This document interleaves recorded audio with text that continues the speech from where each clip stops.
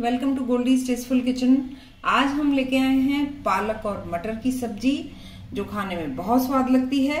मैं अपनी हर रेसिपी के पहले ये कहती हूँ, मुझे टेस्टी खाना बनाना बहुत अच्छा लगता है। तो ये देखिए मैंने पालक को बॉईल कर लिया है, ऐसे कट करके, उसी पानी में उसको बॉईल कर लिया है। मैंने हल्दी या नमक इसमें कुछ नहीं डाला है। इसको ठंडा होने दिया है, ताकि मैं वीडियो में ज़्यादा टाइम ना लगे। ये मैंने दो टमाटर को, बड़े को मोटा मोटा काट लिया है। दो हरी मिर्च ली है, एक इंच अदरक ले लिया है। पाँच से छह मैंने लहसुन की क्लव्स ले ली हैं। दो प्याज को मैंने मोटा मोटा काट लिया है। ये ऑयल लिया है सब्ज़ी बनाने के लिए। हींग है, टू पिंच हम हींग यूज़ करेंगे। वन टीस्पून जीरा है वन टेबल स्पून धनिया पाउडर है सॉल्ट नमक एज पर टेस्ट है, one teaspoon Kashmiri red chilli powder है, और मैं यहाँ आपको दिखाना चाहूँगी। मैंने मटर को पहले से बॉईल करना रख दिया है बहुत कम पानी के साथ। वन पिंच मैंने इसमें शुगर डाली थी, और ये मटर जो है फ्रेश हैं सॉफ्ट हो गए हैं। अब हम इनको निकाल लेते हैं। सबसे पहले हम ये सभी इकट्ठा मिक्सी में पीस लेंगे। ये रेसिपी आसान बनाने के लिए हमने ऐसा किया है। इसको ग्राइंड करते हैं, बिना पानी डाले, क्योंकि इसमें टमाटर है ऑलरेडी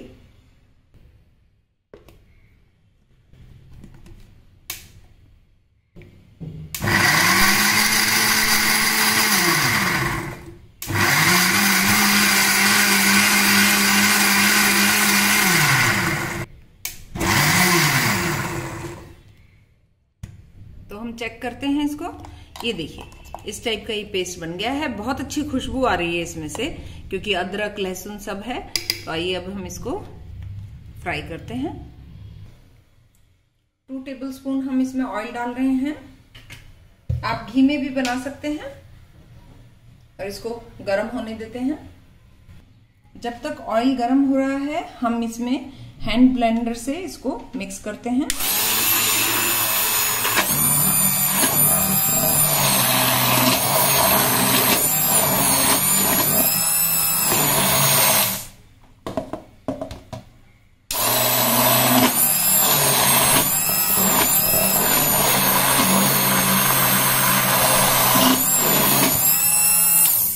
ये ब्लेंडर को मैं आपको पहले दिखा चुकी हूँ। ये बहुत अच्छा है, बॉस का है और बहुत ही बढ़िया है ये। तो देखिए आप सेम बर्तन में हमें मिक्सी में नहीं करना पड़ा और सेम बर्तन में हमने ये ग्राइंड कर लिया है। ऑयल गर्म हो गया है, हम इसमें डालेंगे जीरा और उसके साथ ही डालेंगे एक पिंच हींग एक से दो पिंच आप यूज़ कर सकते हैं। और जीरा जले नहीं, उसके साथ साथ हम डाल देंगे इसमें।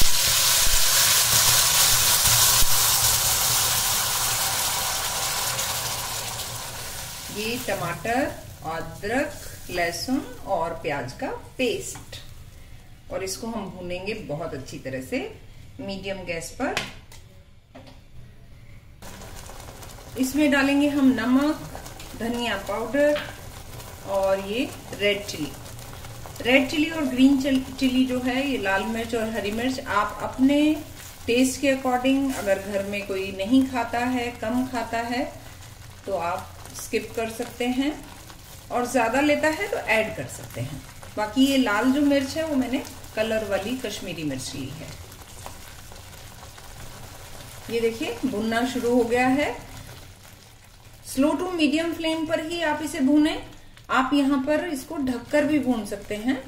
यानी आराम से जब इसका ऑयल छोड़ देगा, क्योंकि मसाला अगर अच्छा बना होगा ना, तभी वो टेस्टी लगेगा। तो इसको हम ढककर पकाते हैं थोड़ी देर। आइए चेक कर लेते हैं हम। ये देखिए, भुनना शुरू हो गया है ऑयल छोड़ना शुरू कर दिया है। लेकिन अभी हमें इसको थोड़ा सा और पकाना है। तो हम क्या करेंगे, पहले इसमें मटर डाल देंगे। ये जो बॉईल की हुई मटर है, इनको डाल देंगे। पानी हम निकाल चुके हैं इनका। और थोड़ी सी मटर इसमें से मैं ऊपर से गार्निश करने के लिए रखूँगी, क्योंकि पालक में वो जो है बिल्कुल मिक्स हो जाती हैं। अगर आपको मेरी रेसिपी पसंद आती है तो प्लीज़ लाइक कीजिए शेयर कीजिए अपने फैमिली फ्रेंड्स में। बेल आइकन प्रेस कीजिए, ताकि मेरी लेटेस्ट अपडेट्स जो है वो आपको पहुँच सके। आपने चैनल को नहीं सब्सक्राइब किया है और आप चैनल पर नए हैं तो सब्सक्राइब कर दीजिए। अब हम इसको थोड़ा सा ढककर फिर से पकाएँगे। चेक कर लेते हैं। और ये देखिए, बहुत अच्छे से मसाला जो है पक गया है। इतना हमें भी देख लेना है कि ऑयल सेपरेट होना शुरू हो गया है और टेस्ट भी, खुशबू भी आने लगी है। आप टेस्ट करके भी देख सकते हैं इस समय। थोड़ा सा मैं इसमें डाल रही हूँ। बहुत वन पिंच अमचूर पाउडर बिल्कुल वन पिंच के करीब। अगर टमाटर खट्टा है तो मत डालिए। और अब हम इसमें डाल रहे हैं ये पालक, जो हमने ग्राइंड करके रखा है। और इसको करेंगे हम अच्छे से मिक्स देखिए कितना ग्रीन पालक है। बिल्कुल परफेक्ट और ये हाफ़ के जी पालक है। यानी दो बंच मैंने लिए थे, और उनको मैंने अच्छे से वॉश करके, मिट्टी वगैरह साफ़ करके उनको जब मैंने ब्लांच किया है, बॉईल किया है। तो इसको अच्छे से मिक्स करते हैं हम।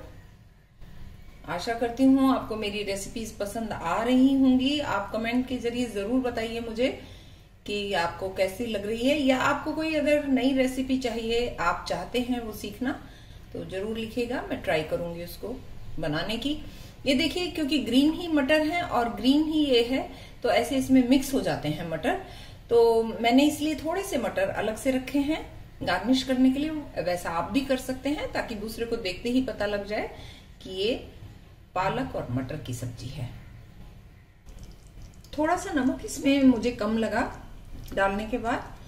तो मैंने चखने के बाद तो मैंने दोबारा से थोड़ा सा नमक ऐड किया है, ऐसा आप भी कर सकते हैं। और अब हम इसको गैस को धीमा कर देंगे और इसको तीन, दो तीन मिनट तक के लिए पकाएँगे। अब हम इसको चेक करते हैं और ये देखिए बॉईल होते हुए काफ़ी टाइम हो गया है। अब हम इसमें ऐड करेंगे टेस्ट एनहेंसर अपना देसी घी, देसी काउ घी, एक चम्मच। पकने के बाद ऐड करें आप, बहुत अच्छी खुशबू आती है। बटर डालकर भी आप सर्व कर सकते हैं। ये देखिए परफेक्ट बहुत अच्छी ये रेसिपी बनी है और खाने में तो लाजवाब है। जब तक आप बनाएँगे नहीं इस रेसिपी को टेस्ट नहीं करेंगे, तब तक आपको नहीं पता चलेगा। तो अब करते हैं इसकी प्लेटिंग कंसिस्टेंसी आप जैसी चाहें वैसे रख सकते हैं। ये देखिए, अब हम करते हैं इसकी प्लेटिंग अब मैं इसमें ऐड कर रही हूँ ये बॉईल किए हुए मटर। क्योंकि जो इसमें हम देखते हैं ना, बनते हैं तो वो मिक्स हो जाते हैं। तो मैंने बहुत बार देखा कि ये अच्छे नहीं लग रहे हैं, बनाकर ऐसे सर्व करने में पता नहीं चलता है। कि वो पालक मटर है क्या? तो ये आप ट्रिक यूज़ कर सकते हैं कि आप ऊपर से मटर डेकोरेट कर दीजिए। अंदर तो आपने ऑलरेडी डाले ही हैं। तो एकदम देखते ही लगेगा कि ये पालक और मटर की रेसिपी है। Thank you so much for watching तो देखिए, मैंने जगह चेंज की है क्योंकि वहाँ लाइट का रिफ्लेक्शन पड़ रहा था तो नहीं अच्छे से कलर वगैरह पता चल रहा था। ये देखिए ये देखिए। कितना अच्छा पालक बना है चपाती के साथ खाइए, पराठे के साथ खाइए और एंजॉय कीजिए।